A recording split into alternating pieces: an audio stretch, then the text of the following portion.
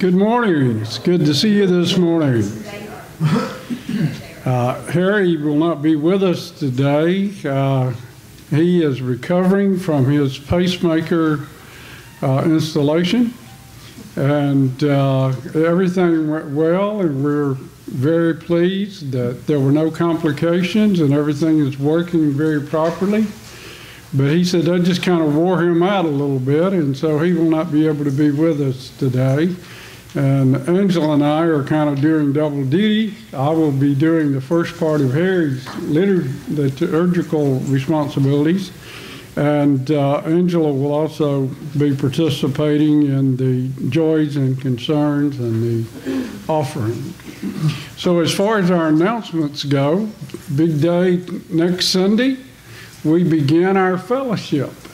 And uh, we've had fellowship long before just starting this coming Sunday, but we're talking about a fellowship of coffee and tea and uh, cookies and that kind of thing. So, uh, Pat, uh, it is going to begin 30 minutes before our usual service or at 10 o'clock. Which which is it? About 30 minutes.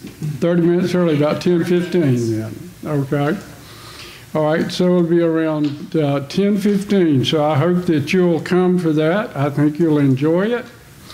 Uh, we had our libation this morning to start with. Uh, when I came in the door, uh, Ted took me back there and showed me water all over the floor in the fellowship hall. That we've had a leak in the, the ceiling where the air conditioner builds up uh, overflow and uh, it's a long story, so let's just pray we can get that problem taken care of and, and get all of that dried up before it does damage to our floor. Um, any other announcements? Then this is the day that the Lord has made. We will Rejoice and be glad in it. Please stand and welcome the Holy Spirit.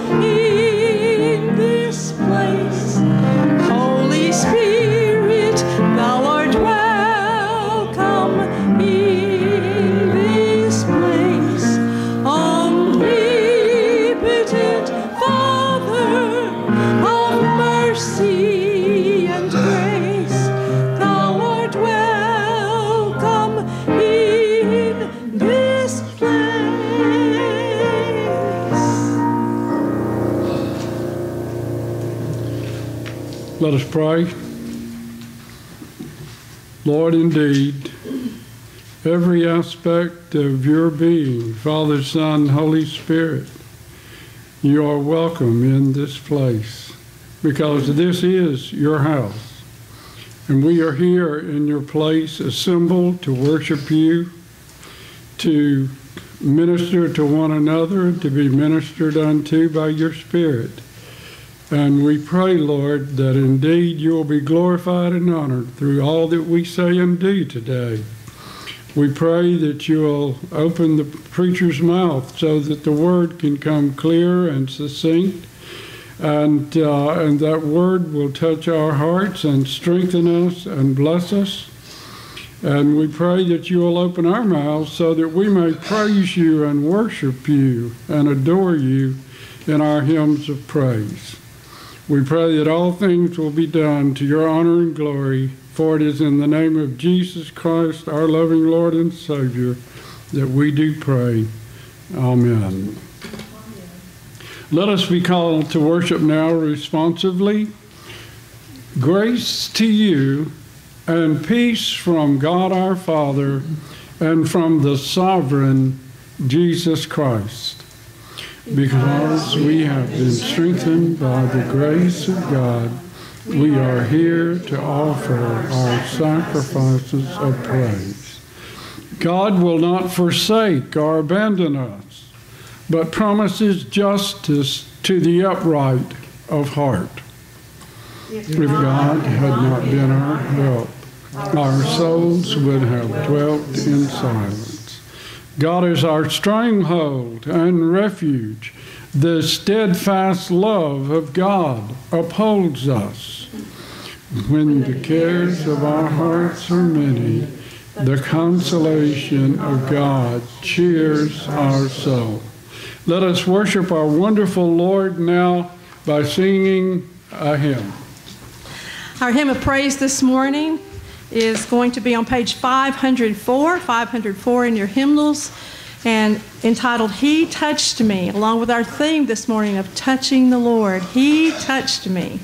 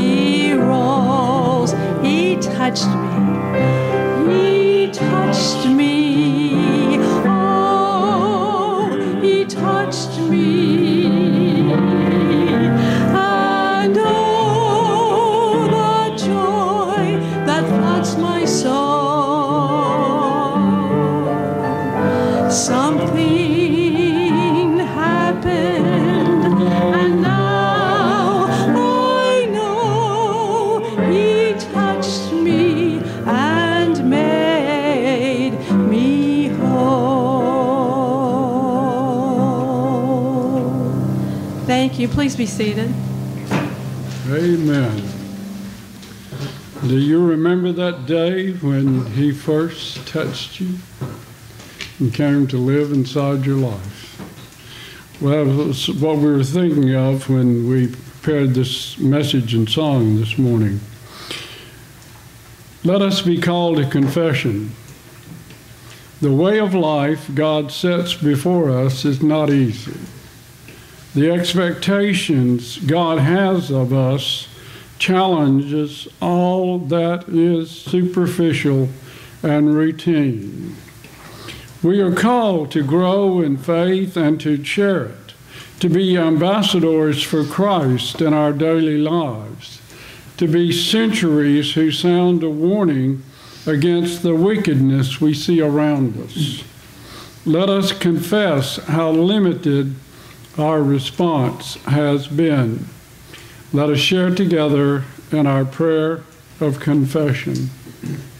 O God, our transgressions and our sins are upon us. and we waste away because of them. We see evil all around us, but we do not oppose it, and sometimes we are part of it. We have not shared the judgment and warnings you make plain to us because we do not wish to offend or seem self righteous. Therefore, the blood of others is on our hands, and that is even more frightening than our own personal guilt.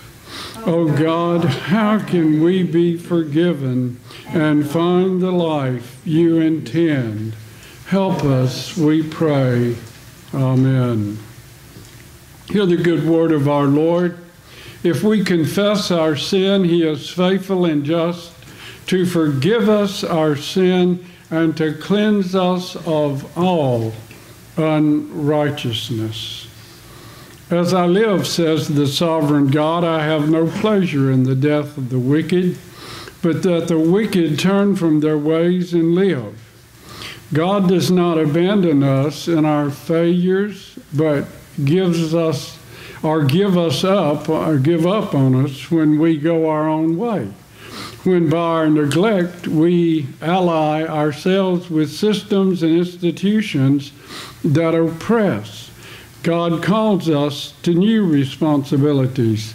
He teaches us new ways and strengthens us by grace that we do not deserve.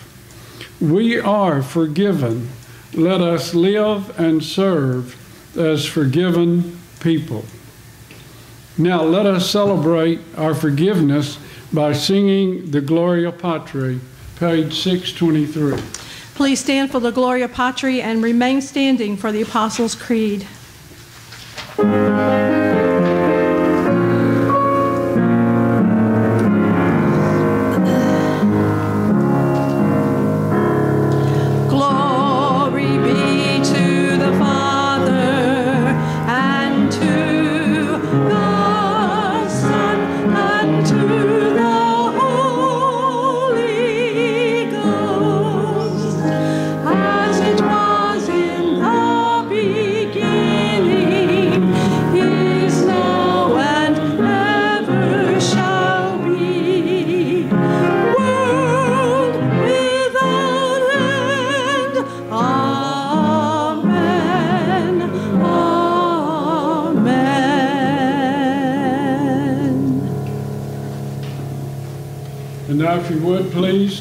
With me to item number 716, the Apostles' Creed, and let us share together in our confession of faith.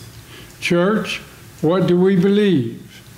I believe in God the Father Almighty, maker of heaven and earth, and in Jesus Christ, his only Son, our Lord, who was conceived by the Holy Spirit born of the Virgin Mary, suffered under Pontius Pilate, was crucified, dead, and buried.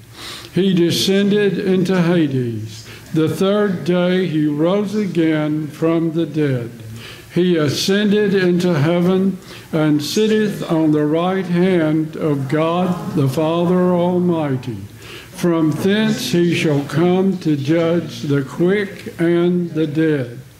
I believe in the Holy Spirit, the holy Christian church, the communion of saints, the forgiveness of sins, the resurrection of the body, and the life everlasting. Amen. You may be seated. And now we will have our time of joys and concerns.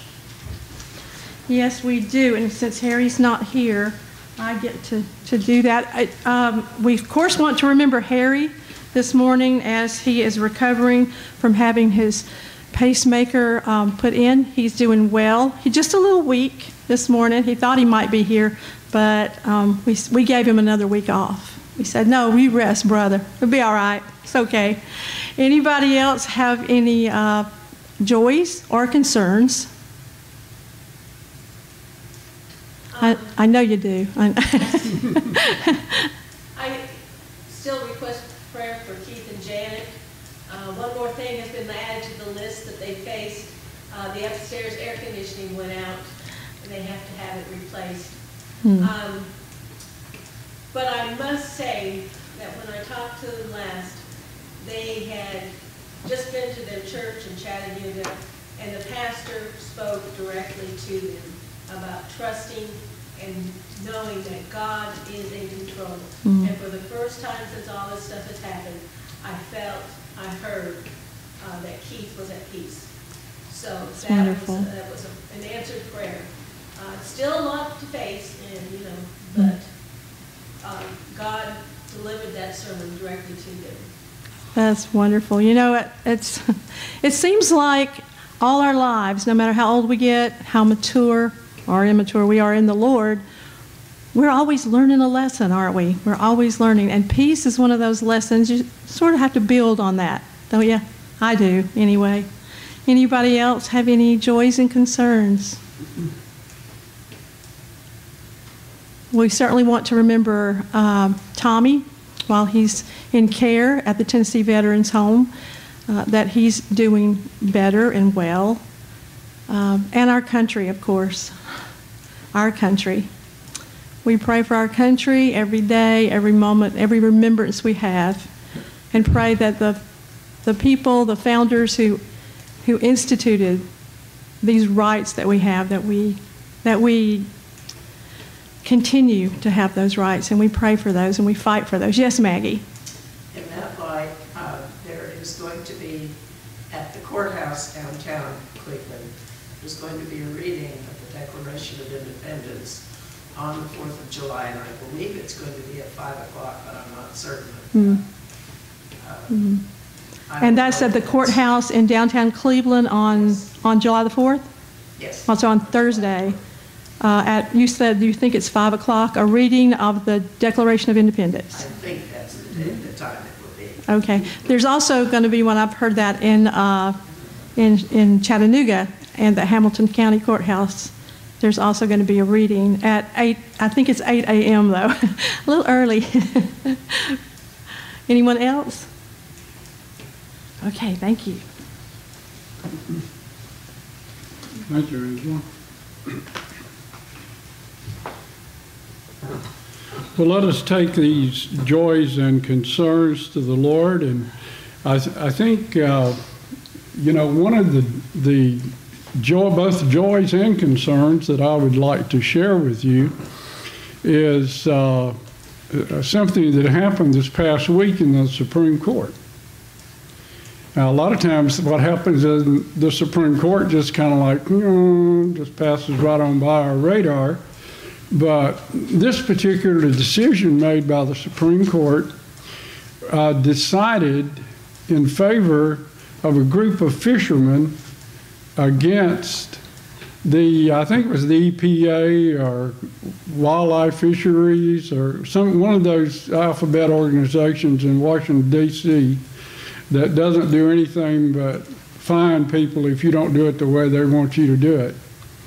And they were fining these fishermen $700 a day for every day that they didn't have a, uh, a special employee uh, on board.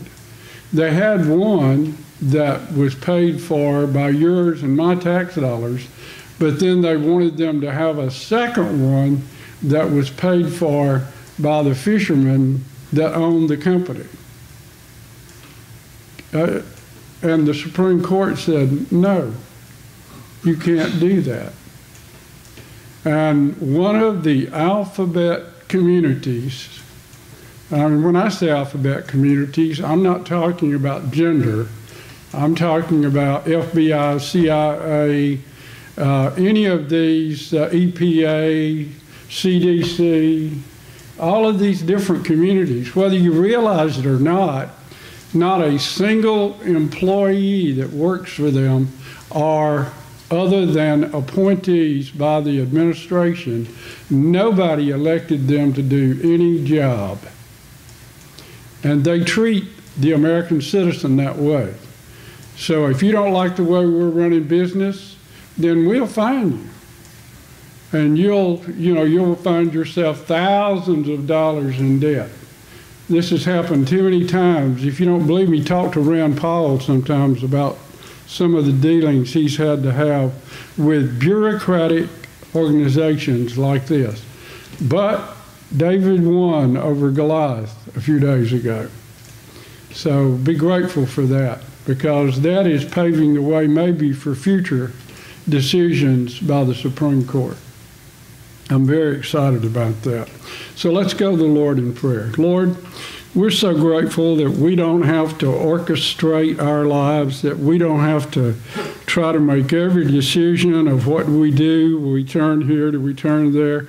Do we go in this direction? How far do we go in this direction? What do we do? But that you tell us in your word that if we trust in you, and lean not to our own understanding. In all our ways, we acknowledge you that you will direct our paths.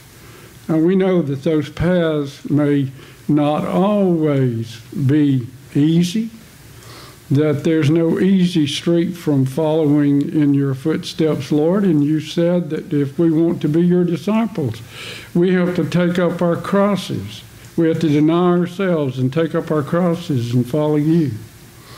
And so we are promised, though, when we do that, that you say that you'll be with us always. And you will lift us up and you will strengthen us. So I pray that any that is in our group, our family of faith, our extended family of friends, and anyone who worships with us, that that they would know your hand of good is upon them and your hand of blessing is upon them.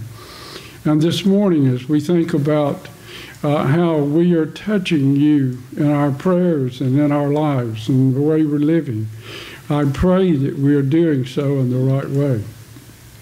Now, Father, thank you for hearing our prayers now, for we are bold to pray the prayer that you, our Master, have taught us to pray. Our Father, who art in heaven, hallowed be thy name. Thy kingdom come, thy will be done on earth as it is in heaven. Give us this day our daily bread, and forgive us our debts as we forgive our debtors. And lead us not into temptation, but deliver us from evil. For thine is the kingdom and the power and the glory forever. Amen.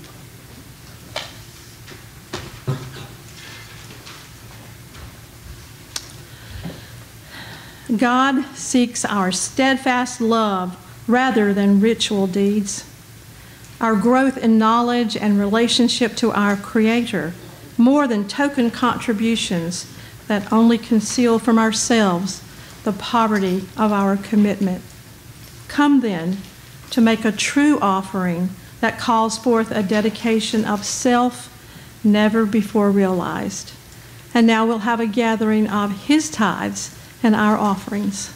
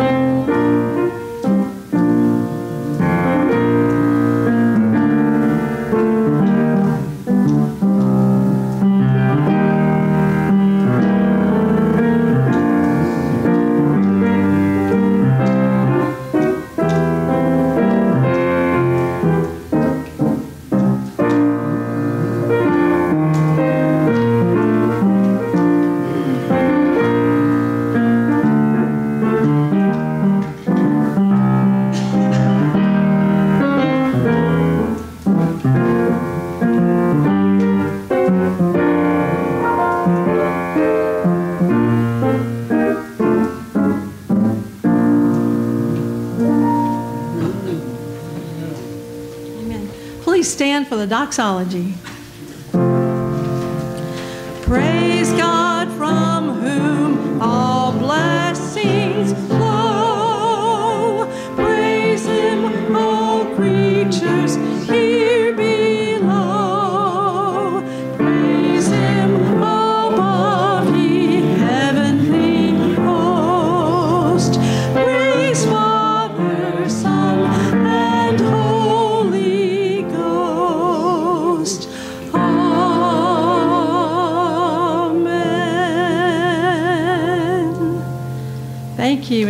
Seated. Amen. Thank you, Jack, for that uh, wonderful offertory and reminding us that it's God's love that lifted us out of the mire and the sea waves and ever how that you want to craft your analogy. Uh, and uh, and I have only one thing to say, Jack. Angela knows what that means. That's, that's the sign for ASL for, because, why? They can't hear it anyway, right? They, and so they just go. And when you do this, have you ever seen people sitting out in the audience and going, you know, oh, sour, look like they've been raised on dill pickle juice. You know that, and uh, obligatory applause. Yeah. But you just can't do this without going, you know. So thank you, Jack. We appreciate you, brother. Uh, I want to invite you now to turn to Mark, the fifth chapter, and uh, we're going to look at, uh, well, I'll tell you what, let's just go to Matthew first. Matthew 9, 19 through 22. I like to read the harmony of the Gospels when we can. Uh, it gives you the picture of all three of the accounts and how each one of the disciples that uh, here, Matthew, how he remembered it all happening. So Matthew 9, 19 through 22.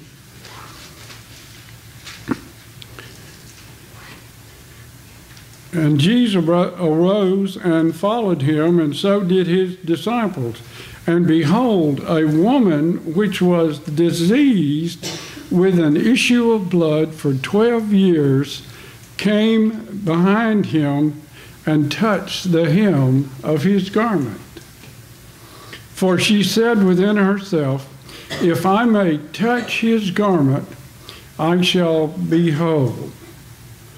But Jesus turned about, and when he saw her, he said, Daughter, be of good comfort. Thy faith hath made thee whole. And the woman was made whole from that very hour.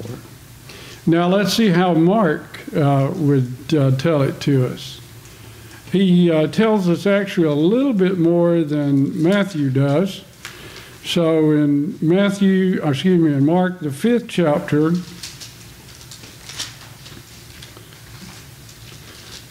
we come to the 25 through 34. And a certain woman which had an issue of blood 12 years had suffered many things of many physicians and had spent all that she had and was nothing bettered, but rather grew worse. Now, you know, we should be so grateful for the, the medical and technology we have today. It's amazing what, what can happen in surgical procedures and other procedures that was just only fantasy 50 years ago, you know, even 10, 20 years ago. It's amazing. And so we can be grateful for that. But can you imagine what, what a doctor did back in the first century? How would you stop this problem? this was a very personal issue with this woman. And, uh, and she had to render herself before these uh, doctors. And it says she had suffered much because of this. I, I suppose embarrassment. And, and yet she was not better, but rather worse. And she had spent all that she had.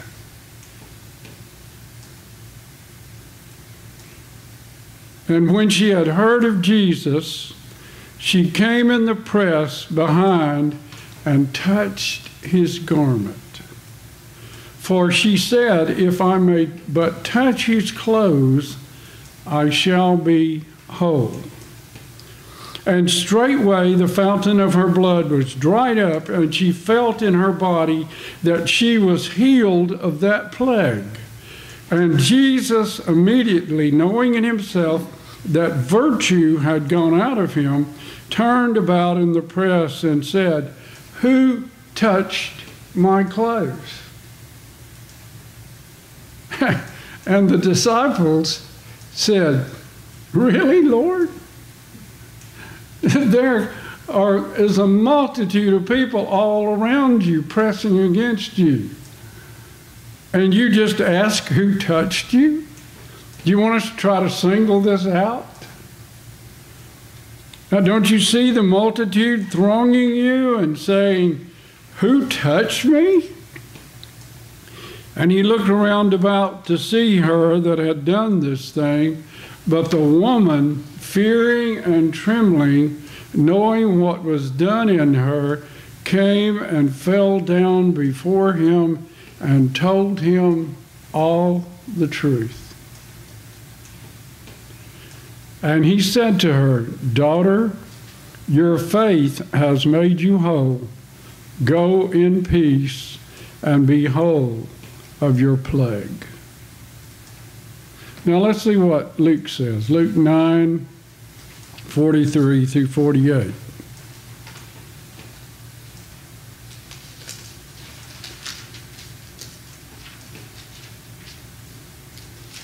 Luke 9, 43, 48.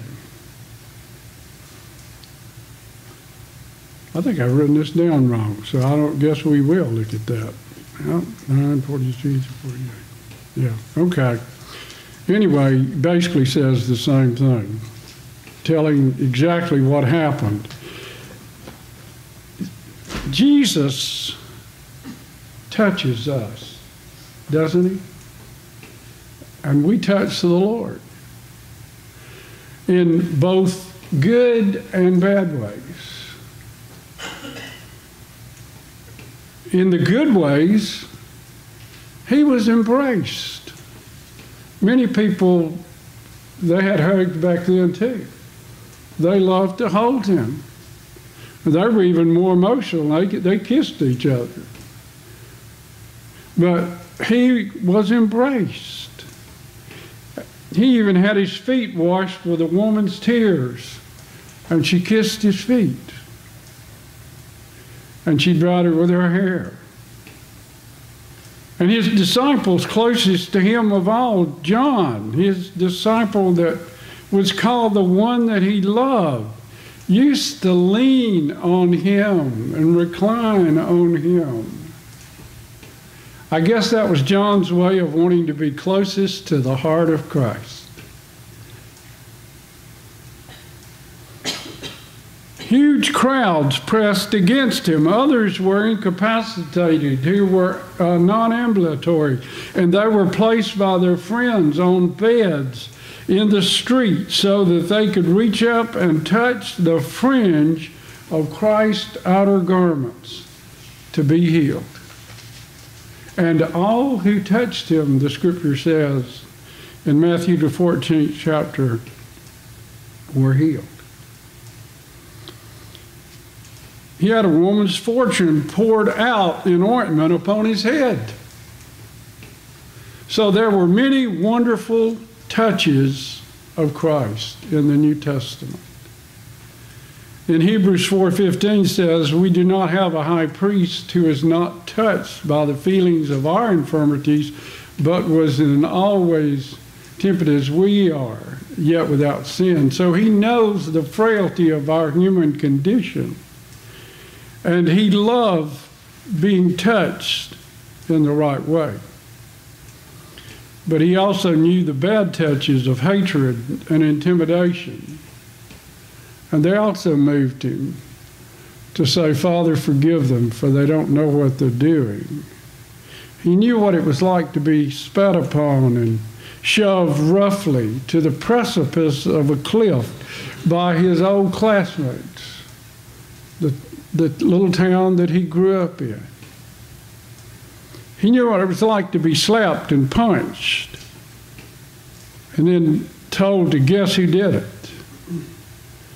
He had parts of his beard plucked out. He was crowned with thorns. He was beaten with whips and a cat of nine tails with which he was scourged.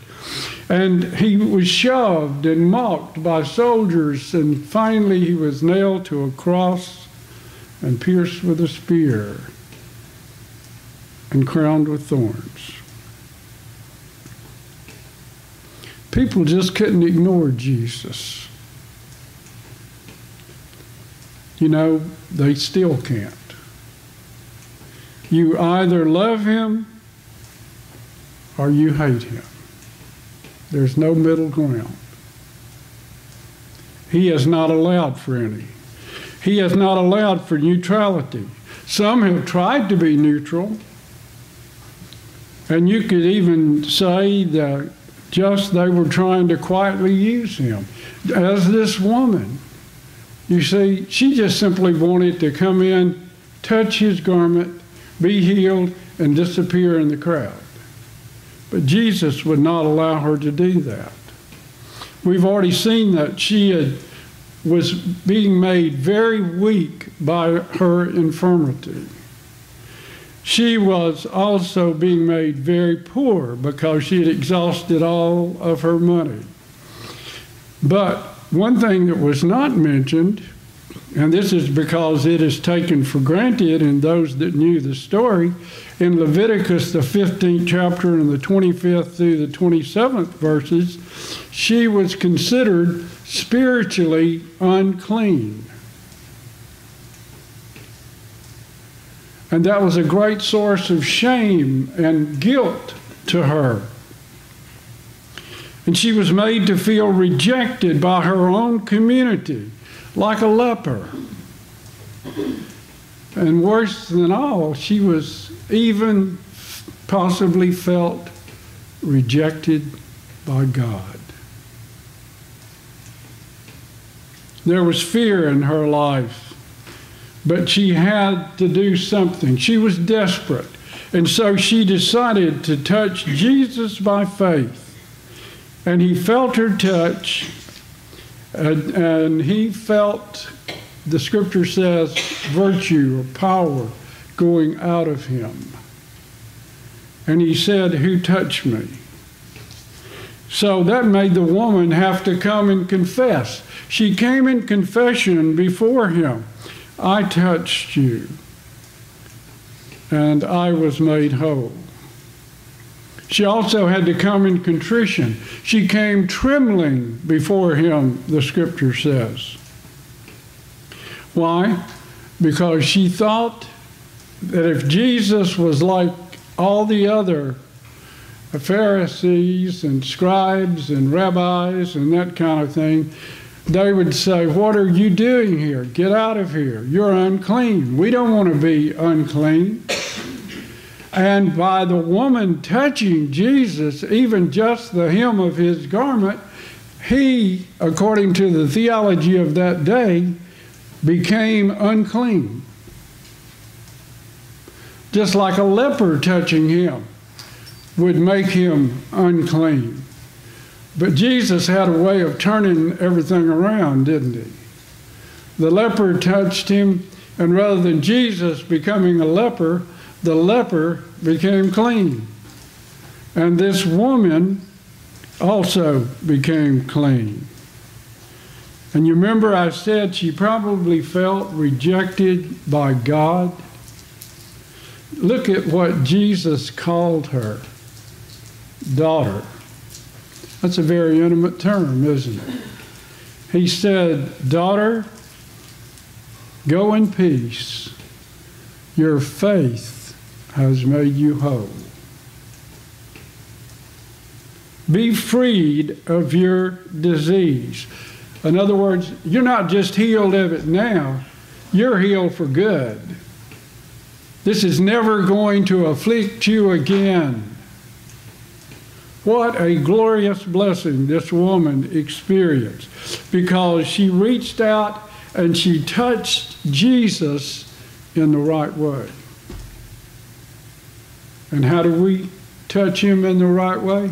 When we touch him by faith.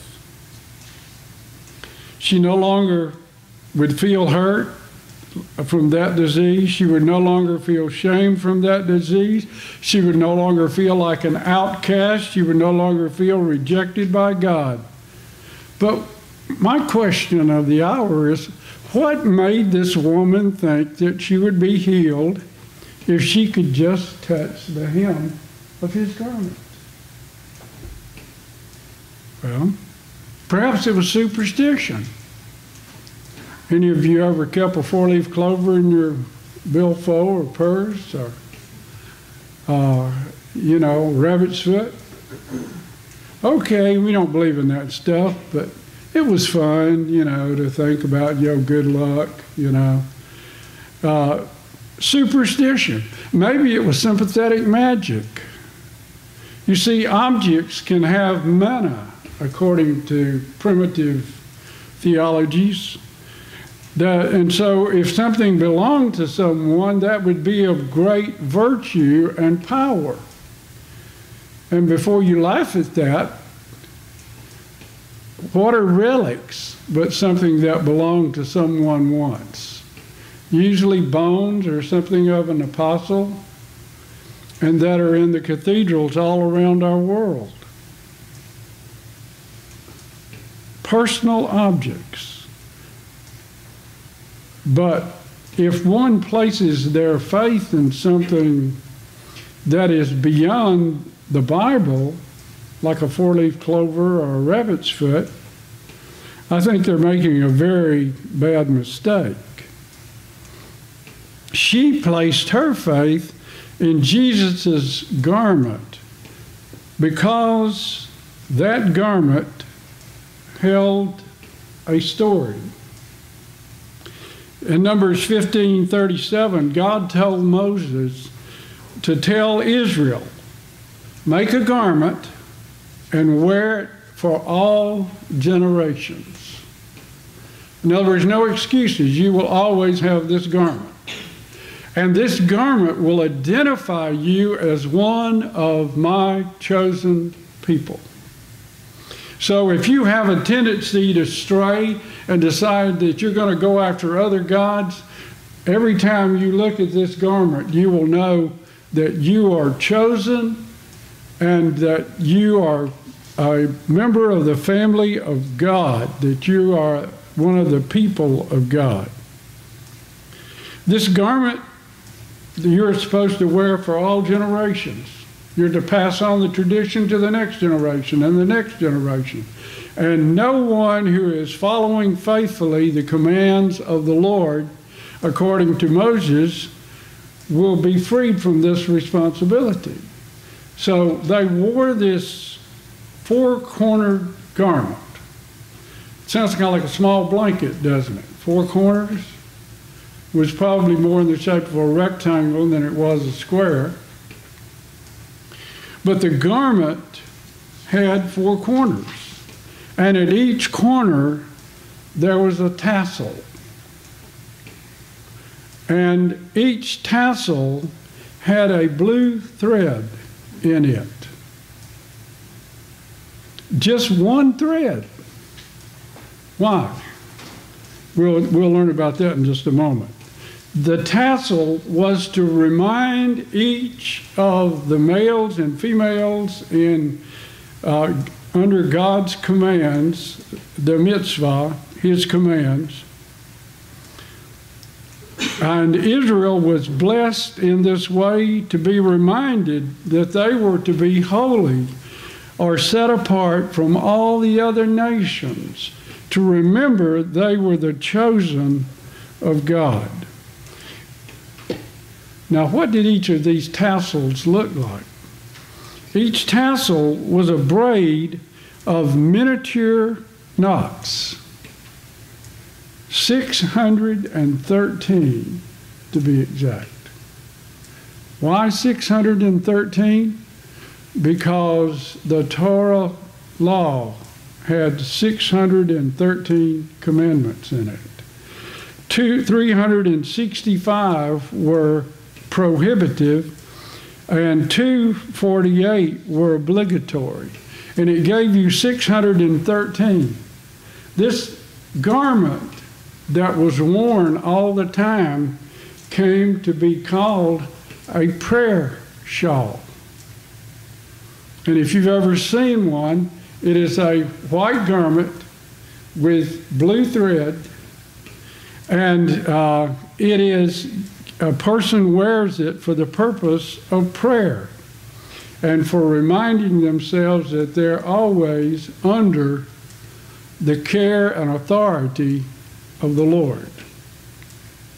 So these four cornered garments were intended to remind the Jewish people how they were to walk or to behave because the garments would hang down on their legs.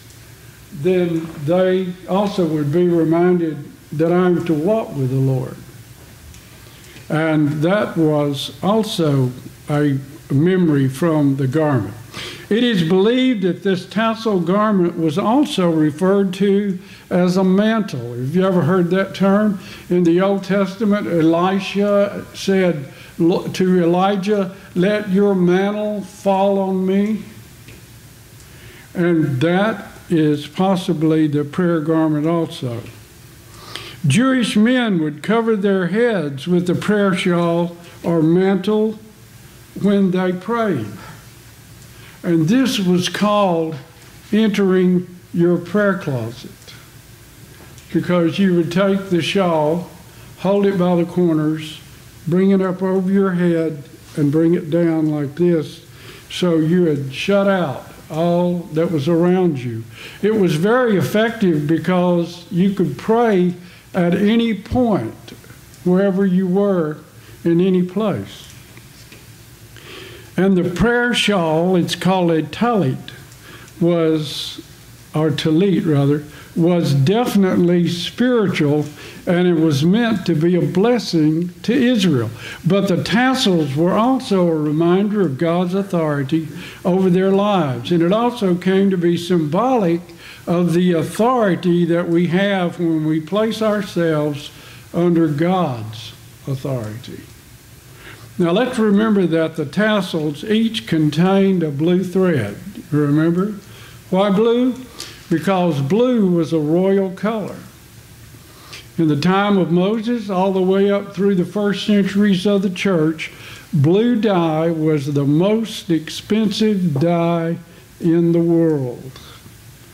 I'm told from my study that the dye came from a small snail, from his mucus glands, and it took around 12,000 of these little snails to make a thimbleful of blue dye. So you can see why there was only one small thread that was blue in that garment.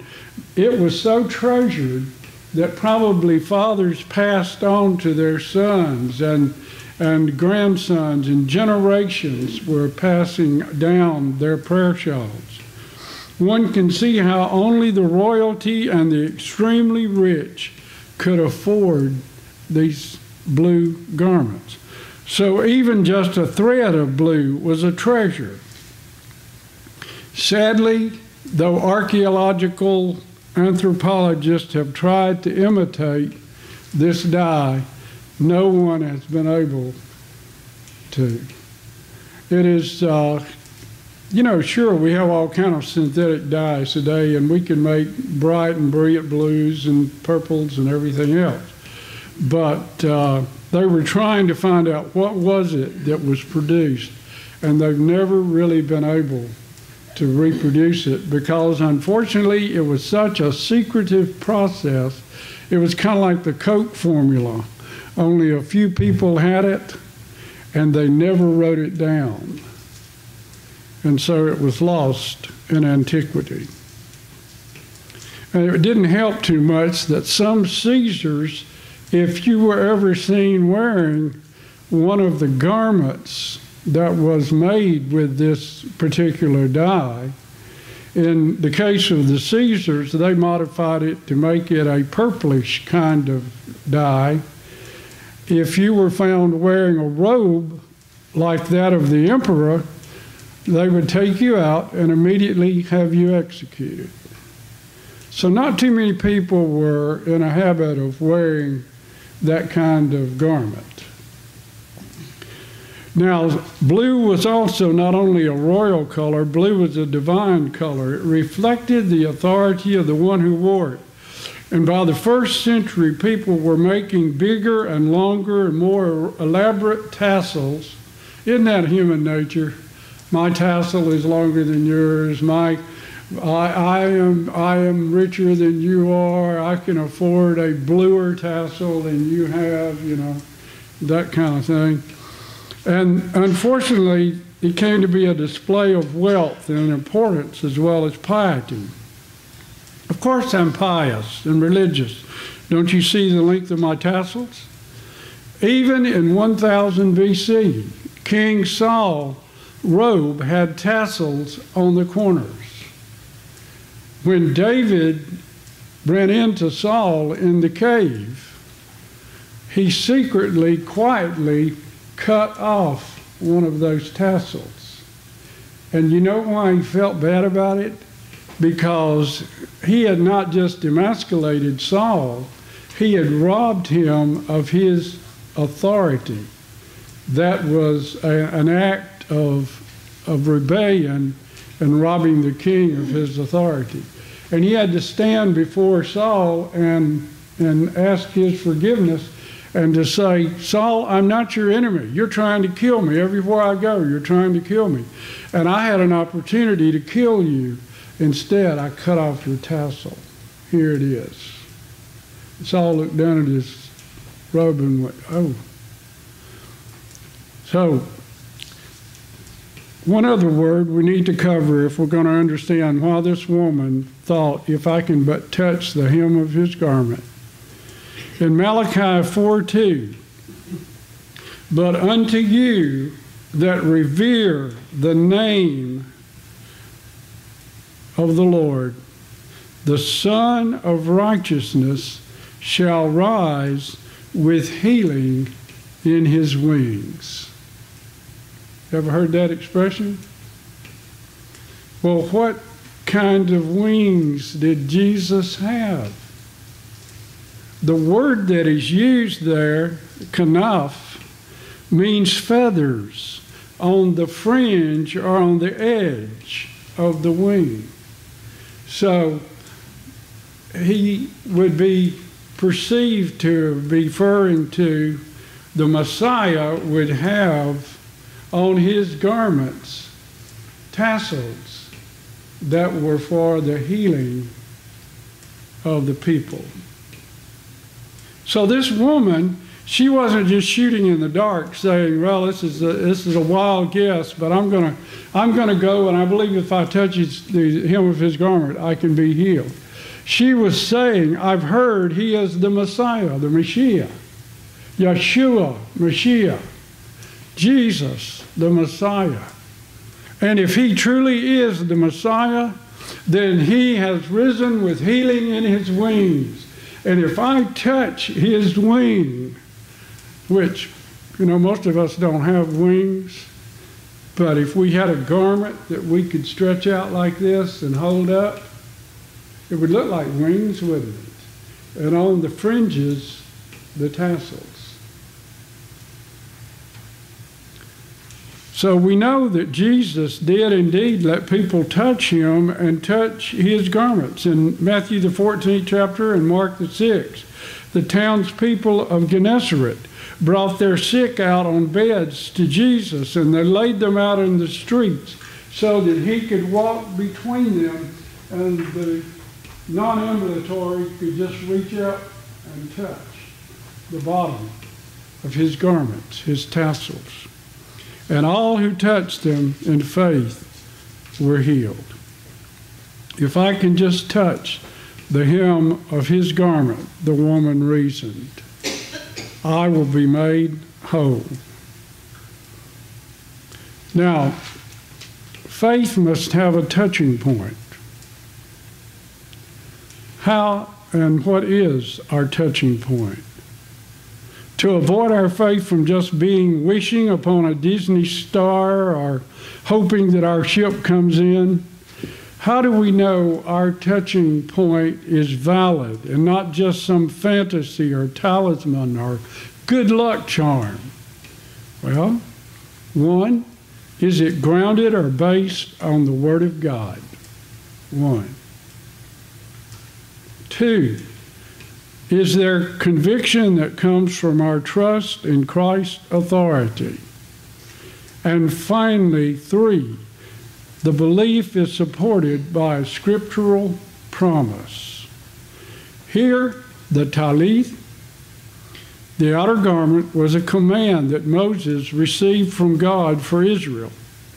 It was indeed a command from God. Secondly, the corners of the tallit, the tassels reminded Israel of God's rightful authority over their lives. Two. And three, the scripture, Malachi 4 2, was a promise of the healing power of the Messiah. So the woman hit all three points. And in her faith, she reached out and touched him and was made whole. What is your touching point? Uh, the Roman centurion, it was the word. He said, Just say the word, Lord, and my servant will be healed. Others, it was the word of prophecy to John the Baptizer. Uh, his presence in worship. His real presence in the sacrament. His body, his blood. What are our touching points that God has given us? that we may exercise our faith.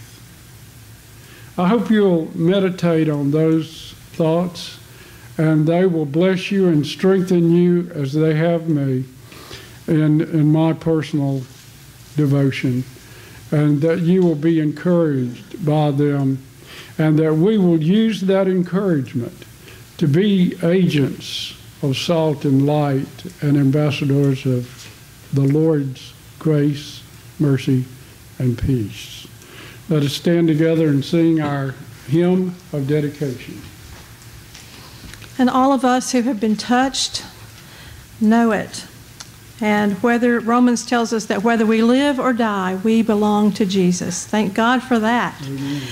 Please turn to page number 511 in your hymnals, 511. Now I belong to Jesus, and stand and let's celebrate belonging to Him.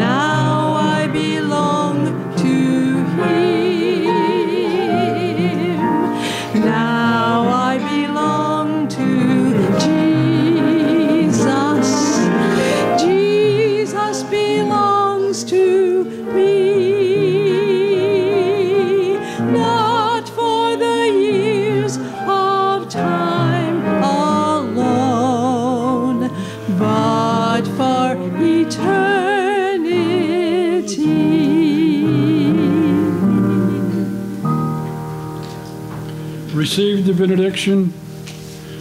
And now, Lord, as you have promised us in your word that you will never leave us or forsake us, and that you've held us close to your very heart, even as we have shared together in this time of worship, in this time of study, we pray that you have equipped us so that we may go out into this world, taking your gospel to a world that so much needs to know your grace and your love. Send us forth now, we pray, in the name of your personal name, Father, Son, and Holy Spirit, Lord Jesus Christ. Amen. And God be with you till we meet again.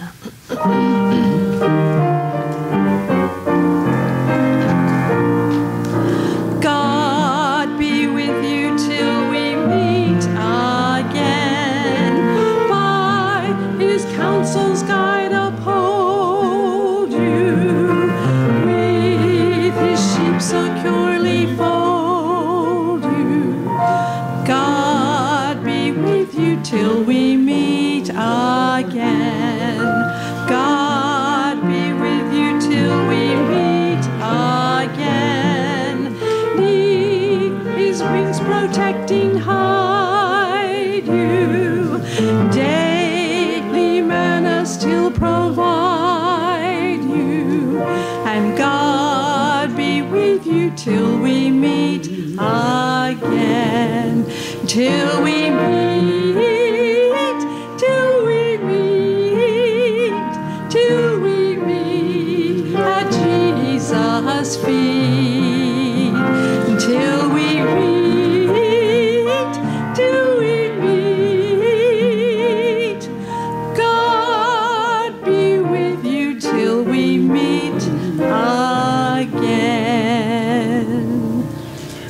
forth in peace to love and serve the Lord.